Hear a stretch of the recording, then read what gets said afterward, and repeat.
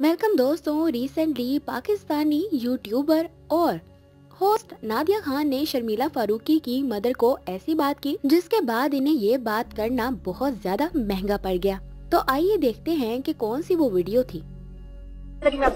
आपका मेकअप कौन करता है? इतना हसीन हर दफ़ा खुद करता आपने आप आपने किससे सीखा इतना अच्छा शर्मिला हाँ वो भी कितना अच्छा मेकअप करती है। बहुत आपकी ड्रेसिंग ज्वेलरी हमेशा इतनी ज़बरदस्त होती है इतनी आप एफर्ट करती हैं। ये मेरा कोई शौक है। बचपन से था। बचपन से था।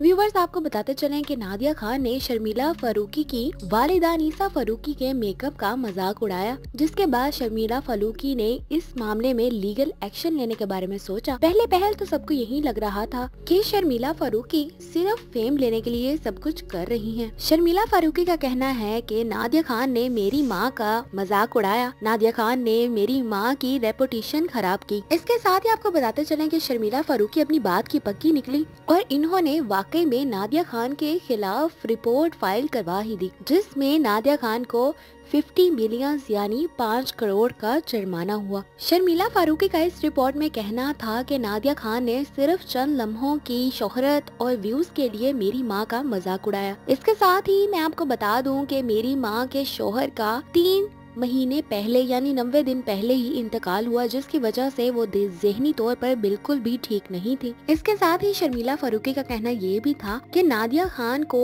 इस बात पे सॉरी करने चाहिए थी। बजाय सॉरी के, नादिया खान ने यूट्यूब का सहारा लेके फिर से एक वीडियो बनाई, जिसमें उन्होंने शर्मिला फारूकी का मज़ाक भी बनाया।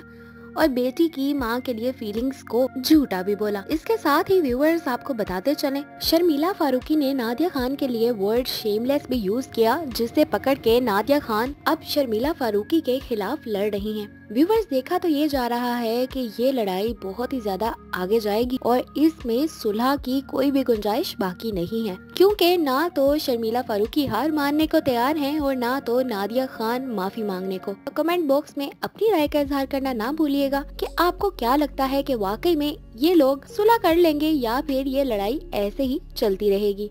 Thanks for watching